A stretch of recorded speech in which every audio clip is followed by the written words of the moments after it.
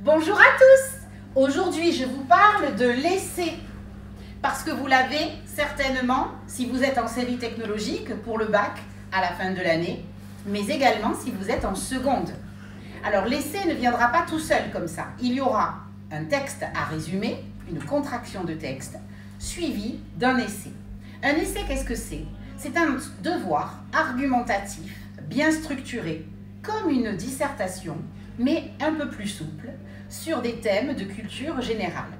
Sachez que le thème qui sera à l'essai, ce sera celui du texte que vous aurez à résumer en amont. Et ce sera un texte du 21e siècle de littérature d'idées. Parlons un peu plus aujourd'hui de l'essai particulièrement. Il va se présenter sous la forme d'une question. Vous aurez une question à laquelle il va falloir répondre.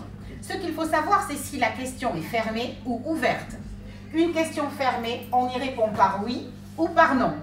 Attention, on ne va pas faire un plan en deux parties oui-non, parce qu'il va falloir dépasser la contradiction. On va fuir les plans contradictoires.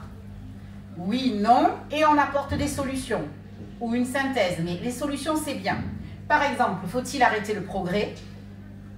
Ben oui, parce que la planète court à sa perte.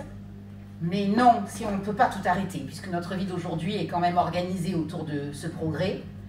Troisième partie, alors que fait-on? De façon modérée, on va trouver des solutions, limiter notre consommation d'énergie, peut-être mettre la maison à 16 degrés, hein, selon les recommandations, arrêter de manger de la viande, et puis euh, on va peut-être adapter notre vie, prendre la bicyclette et laisser la voiture au garage.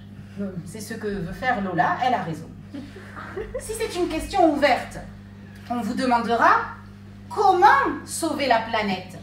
Les questions ouvertes sont introduites par pourquoi, comment et quel. Et là, on ne peut pas répondre par oui ou par non. On va répondre par bah, comment sauver la planète? Eh bien, peut-être alors en se mettant à faire de la bicyclette plutôt que de prendre la voiture, en jetant nos téléphones portables et en ouvrant des livres. Pourquoi pas? En tout cas, ce sont des solutions possibles et ça, ça répond à la question ouverte. Un autre exemple de question ouverte, pourquoi doit-on lire? Eh bien, on donne trois solutions. Pour augmenter notre culture générale, pour améliorer son vocabulaire ou aussi pour se divertir. Ce qui compte, ça va être de donner des exemples précis.